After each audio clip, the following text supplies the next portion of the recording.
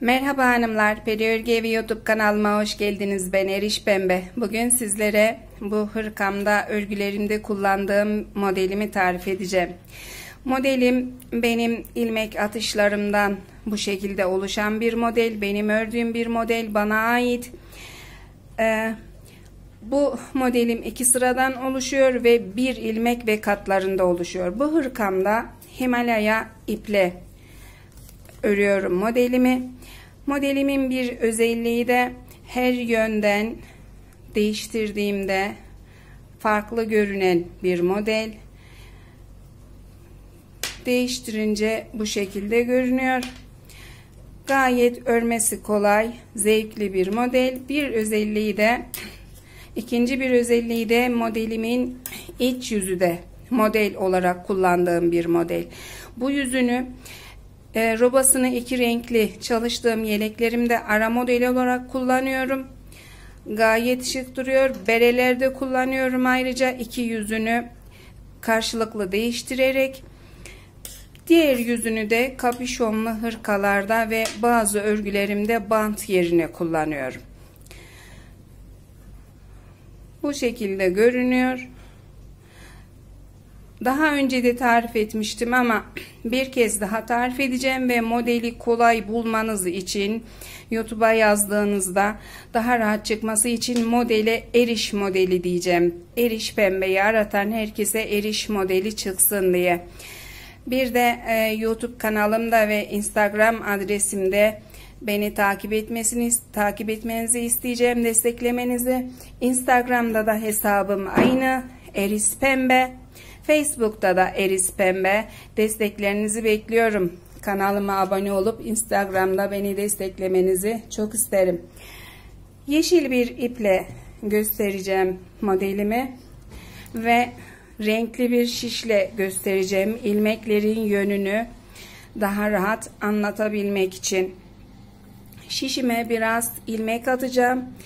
İlk sıradan ilmek atışımla beraber tamamını tarif edeceğim. ilmeklerimi atıyorum.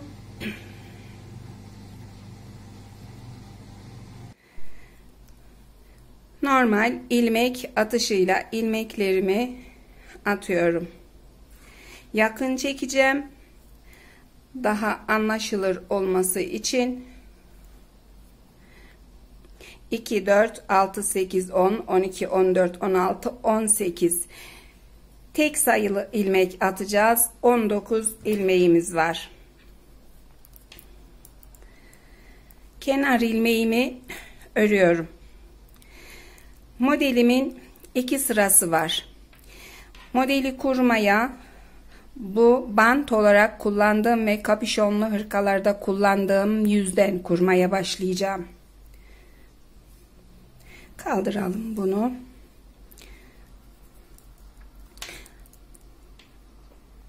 Kenar ilmeğimi ördüm. Daha sonra ipimi öne alıyorum.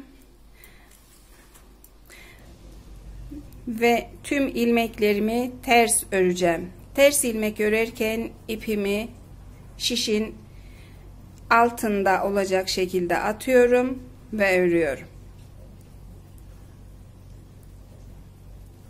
Ters ilmek. Bu şekilde bir alışınız varsa modeliniz Hmm, biraz zor oluşmayacaktır. O yüzden ters ilmek alışı bu şekilde.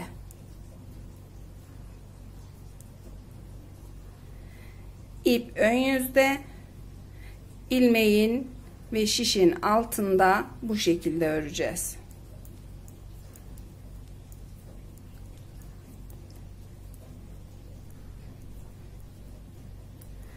Tüm ilmekleri ters örüyoruz. Modelimin birinci yüzü.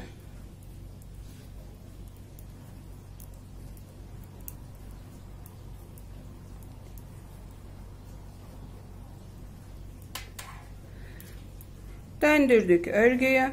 İkinci sıradayız. Modelinde ikinci sırası.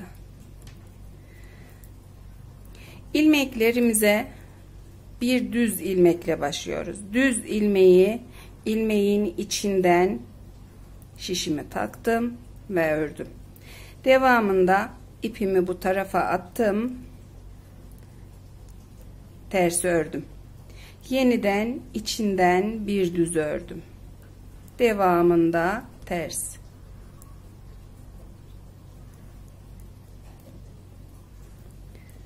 Bir ters, bir düz. Örgü boyunca düz ilmek, ters ilmek. Düz ilmekleri içinden takıp yine ip şişin altında bu şekilde değil. Bu şekilde.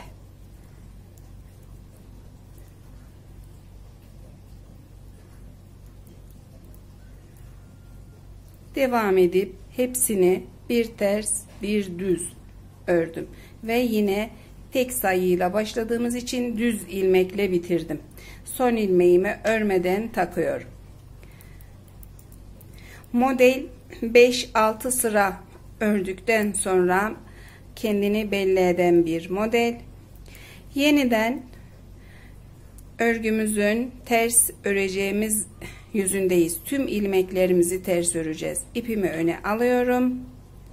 Yine aynı şekilde tüm ilmekleri ters örüyorum. Bu ilmek farklı geliyor. Diğer ilmek daha farklı.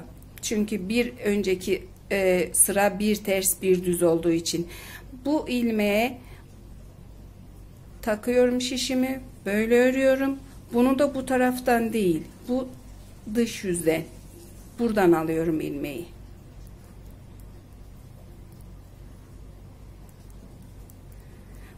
bu sırada da eğer ki ilmeği bu şekilde örüyorsanız yine modeliniz açılır. Bu şekilde örme yok bu ilmekte. Dış yüzünden yine ip altında.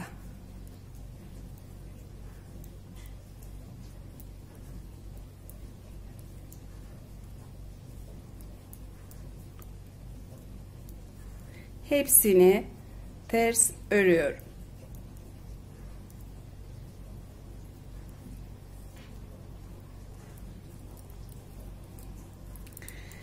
Modelimizin ilk sırası bitince tekrar diğer yüzden ters ördükten sonra iç yüzde bir işlem var. Burada bir ters bir düz öreceğiz ama her ters düz ördüğümüz sırada ilmeklerimizin sırasını değiştireceğiz. Bu düz ilmeği asla düz örerek gitmeyeceğim. Bu 1, 2, 3 ve şişimdeki ile 4 sıra olmuş. 3 sıra düz örgüsü var. Bu ilmek ters olacak. Devamında bu düz ilmek düz olacak ve yine şişimi içinden takıp örüyorum. Bu ilmeğim de yine 3 sıra düz olmuş. Şişin buradaki bu yüzünden takıp ters öreceğim. Bir ters, bir düz. Ama iç yüzlerde her zaman kaydıracağız. Ters ve düz ilmeklerimizi. Bir kez baştan hesapladığınızda zaten bir ters bir düz ördüğünüzde diğer ilmekler denk gelecektir. Kısa olan düz sırası kısa olan ilmeğimiz düz, uzun olan ters.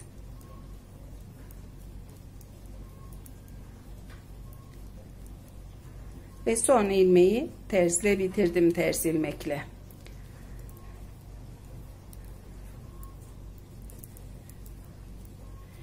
Yine bu yüzdeyiz.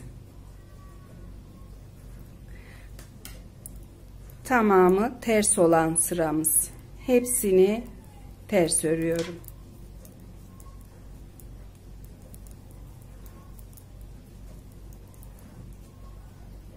Düz ilmeğimiz diğer yönde ters örüp de bu yöne düz olan ilmek bu tarafından takıyoruz şişi ve böyle örüyoruz.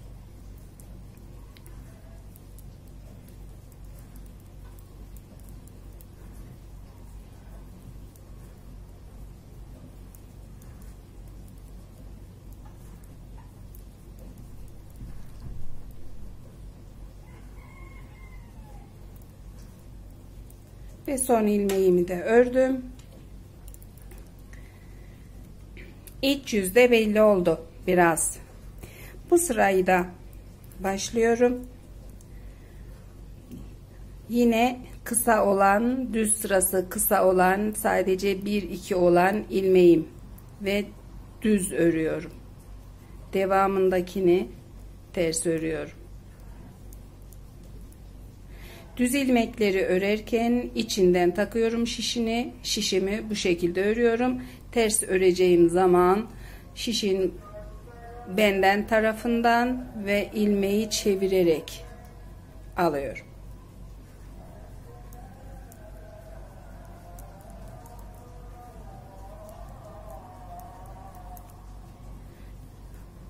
Devam ediyorum hepsini.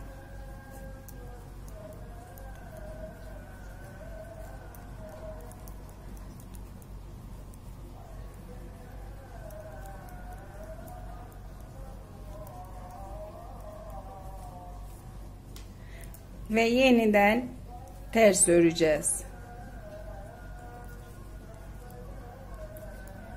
Tüm ilmekleri ters örüyoruz.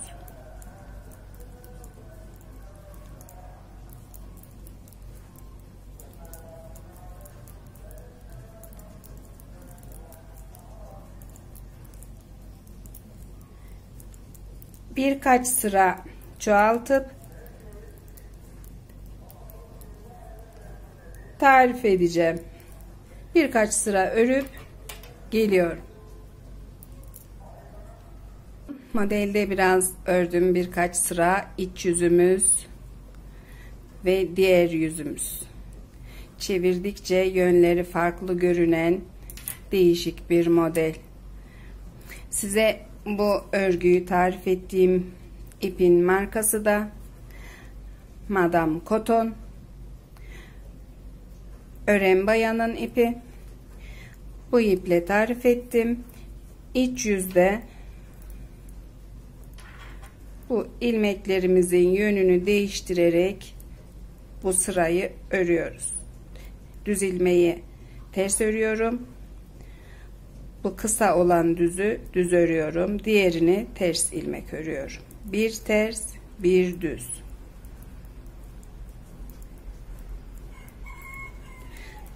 Tarifim de bu kadar. Beni Instagram'da ve YouTube'da takip etmeyi, kanalıma abone olmayı unutmayın. Instagram'da Eris Pembe. Ve örgümüzde de Himalaya iple modelimiz çoğalmış hali bu şekilde. Kolay gelsin hepinize beni izlediğiniz için teşekkür ediyorum.